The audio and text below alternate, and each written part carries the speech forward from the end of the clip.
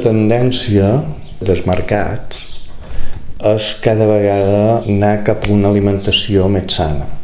Ja no només per una qüestió mediambiental, per el tipus de gestió que fas, sinó perquè és una inversió en el teu propi cos. La gent està fent de cada vegada pràctiques més sostenibles, que el producte que es treu és un producte molt bo, te miris el cultiu que te miris o, o bestiar o el que vulguis, però està tot anant cap a qualitats màximes i això crec que és molt beneficiós per aquí, perquè la gent ara es comença a decantar ja molt per comprar producte d'aquí.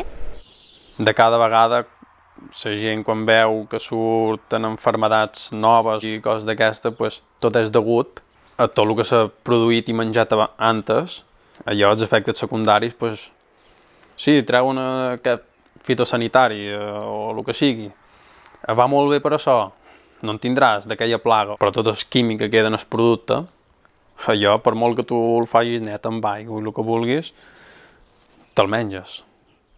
Vull dir, allò són químics que tu vas introduint en el teu cos i vas desenvolupant enfermedats. L'agricultura ecològica és, és diferent, la producció és menys, però molt més sa, res de tirar químics, cap ni un. És molt més saludable el producte d'aquí que no el producte que puguis anar a comprar a grans superfícies.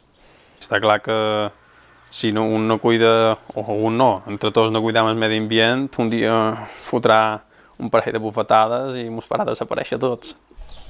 La tendència mundial fins i tot ho és, baixarà davant de producte barat i de poca qualitat.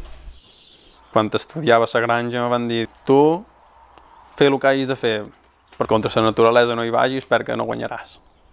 I és ben cert.